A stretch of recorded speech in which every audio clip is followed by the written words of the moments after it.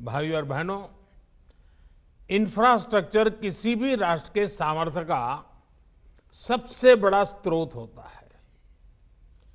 Infrastructure में भी connectivity राष्ट्र की नसें होती हैं, नाड़ियाँ होती हैं। जितनी बेहतर ये नसें होती हैं, उतना ही स्वास्थ्य और सामर्थ्यवान कोई राष्ट्र होता है। आज जब भारत दुनिया की बड़ी आर्थिक ताकत बनने के रास्ते पर की तरफ़ तेज़ी से आगे बढ़ रहा है, तब बेहतरीन कनेक्टिविटी देश की प्राथमिकता है।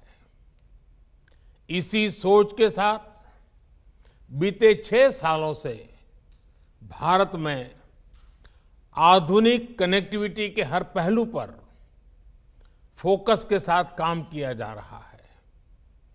हाईवे हो, रेलवे हो, एयरवे हो, वाटरवे हो, या फिर हाईवे। आर्थिक रफ्तार के लिए ज़रूरी इन पाँचों पहियों को ताकत दी जा रही है, गति दी जा रही है। ईस्टर्न डेडिकेटेड फ्रेट कॉरिडोर इसके एक बड़े सेक्शन का लोकार्पण भी इसी दिशा में बहुत बड़ा कदम है। साथियों, ये डेडिकेटेड फ्रेट कॉरिडोर, इनको अगर सामान्य बोलचाल की भाषा में कहें तो मालगाड़ियों के लिए बने विशेष ट्रैक हैं, विशेष व्यवस्थाएँ हैं। इनकी ज़रूरत आखिर देश को क्यों पड़ी? हमारे खेत हो, उद्योग हो, या फिर बाज़ार, ये सब माल ढुलाई पर निर्भर होते हैं।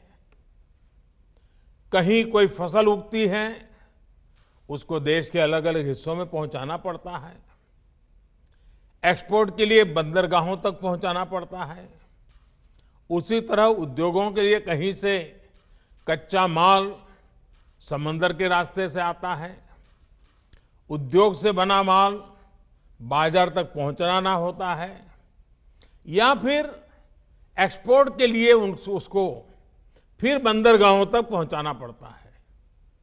इस काम में सबसे बड़ा माध्यम हमेशा से ही रेलवे रही है।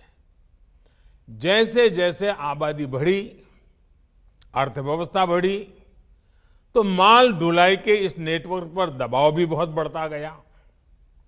समस्या ये थी कि हमारे यहाँ यात्रियों की ट्रेनें और मालगाड़ियाँ दोनों एक ही पटरी पर चलती हैं। मालगाड़ी की गति धीमी होती है। ऐसे में मालगाड़ियों को रास्ता देने के लिए यात्री ट्रेनों को स्टेशन पर रोका जाता है। इससे पैसेंजर ट्रेन भी समय पर नहीं पहुँच पाती है और मालगाड़ी भी लेट हो जाती है। मालगाड़ी की गति जब धीमी होगी, जगह जगह रोक टोक होगी तो ज़ाहिर है ट्रांसपोर्टेशन की लागत ज़्यादा होगी।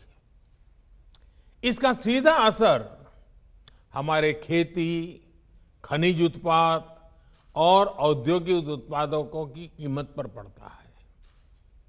महँगे होने के कारण वो देश और विदेश के बाजारों में होने वाली स्पर्धा में टिक नहीं पाते हैं, हार जाते हैं। भाई और बहनों, इसी स्थिति को बदलने के लिए फ्रेट कॉरिडोर की योजना बनाई गई। शुरू में दो डेडिकेटेड फ्रेट कॉरिडोर तैयार करने की योजना है। पूर्वी dedicate, dedicated freight corridor Punjab के औद्योगिक शहर लुधियाना को पश्चिम बंगाल के दानकुनी से जोड़ रहा है। सैकड़ों किलोमीटर लंबे इस रूट में कोयला खाने हैं, थर्मल पावर प्लांट है, औद्योगिक शहर है। इनके लिए फीडर मार्ग भी बनाए जा रहे हैं। वहीं पश्चिमी डेडिकेटेड फ्रेट कॉरिडोर महाराष्ट्र में जेएनपीटी को उत्तर प्रदेश के दादरी से जोड़ता है।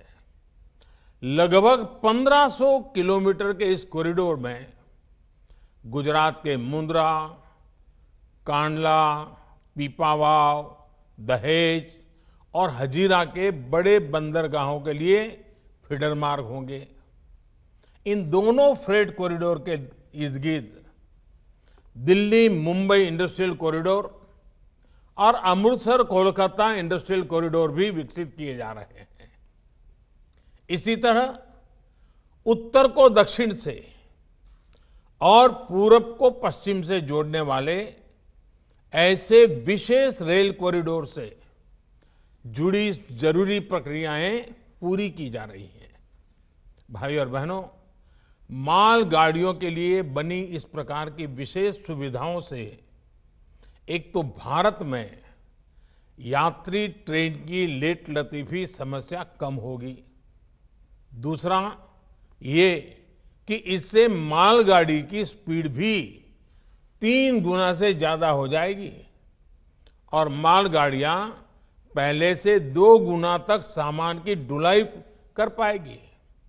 क्योंकि इन ट्रैक पर डबल डेकर, यानी डिब्बे के ऊपर डिब्बा, ऐसी मालगाड़ियाँ चलाई जा सकेगी। मालगाड़ियाँ जब समय पर पहुँचती और पहुँच, पहुंचेगी तो हमारा लॉजिस्टिक नेटवर्क सस्ता होता जाएगा।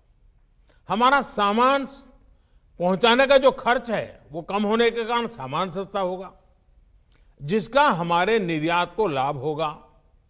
यही नहीं, देश में उद्योग के लिए बेहतर माहौल बनेगा ईज ऑफ़ डूइंग बिज़नेस बढ़ेगी, निवेश के लिए भारत और आकर्षक बनेगा। देश में रोज़गार के, स्वरोजगार के अनेक नए अवसर भी तैयार होंगे।